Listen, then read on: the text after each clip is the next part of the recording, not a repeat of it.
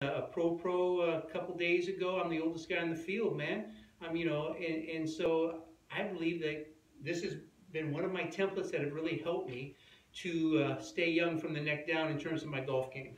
So anyway, so we talked about I swing on an arc. Well, here's my 20 degree arc, or so to speak, of the club, and here's the arc of my hands. If I just took a magic marker and I just stood here and swung, I'd swing in an arc. I didn't even do anything. I don't try to go out contrary to the turn of my pivot or my body, right? And we talked about in just the segment earlier I posted today that in impact, I was thought the face has to be square and I was unaware of my face and I need to have my face pointed more at these dots at impact the further away back from the tangent it is, or the left shoulder socket. That's the tangent or the center of the golf swing. From here it goes up, from here it goes up, so that's the center. So my iron I want to hit down on, so I have it three balls behind that tangent.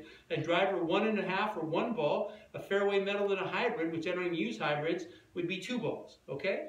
So because it's more of a descending ball, I like to have my wedges four balls back because I like to flight my wedges and curve them, and they don't curve that much anyway because there's so much loft on them. That's the beauty of wedges and short irons. So now, if I follow my 20, my left arm 20 degrees to the target line, my right arm 20 degrees to the target line, that would be my arc. Now I have to do is make sure my handle leads like the four cousins, but the face points at the dots. If it points at this line, it's physics. If it points that line, you just hit a straight push that's on the green. I'll take that. What I don't want is a ball crossing the line and getting left of my target.